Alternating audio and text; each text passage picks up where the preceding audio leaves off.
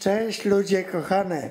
Teraz ja wam pokażę, jak wolontariusze mi pomagają tutaj żyć w czystości. Proszę uprzejmie, ekipa. Pani Sylwio, Słucham? a kuku. I pan Paweł też działa, każdy ma swoją działkę. Tu pomagają mi sprzątnąć, żebym żył w czystości.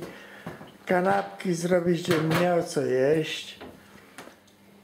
W przyszłości przyjdziemy do ugotowania obiadków, ale to później, bo znamy się dopiero kilka dni, ale jest fajnie. Także wolontariat to piękna rzecz. No ludzie kochane, co ja wam będę opowiadał, to widać i prawie słychać. Może ci podniosę to. To jest to, także a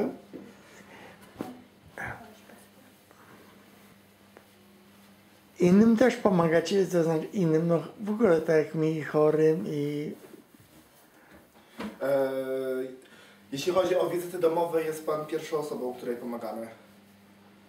aha, no to mam nadzieję, że inauguracja się uda będzie dobra. Tak, tak.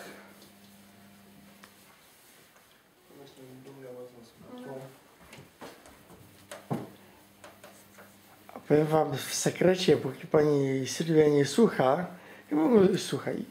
Aha, póki nie słucha, to jest ratowniczka medyczna, jakby kto pytał. Opiekun medyczny. Opiekunka. A opiekunka medyczna. Bardzo dobrze.